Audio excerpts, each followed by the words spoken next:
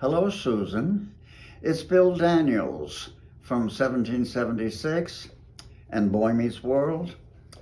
I hear from John that you're turning 49 on May 15th. That's marvelous. Congratulations. You know, 49 is a great age, and I'm sure you have many wonderful things in store for you in the future. In my life, for example, I didn't become Mr. Feeny until I was 66. I'm very glad to hear you have experience in theater. Stage managers deserve applause too, you know, and it's a shame they never get a bow. So, I hope you continue. As George Feeny says, to believe in yourself, dream, try, do good. Best of luck and happy birthday.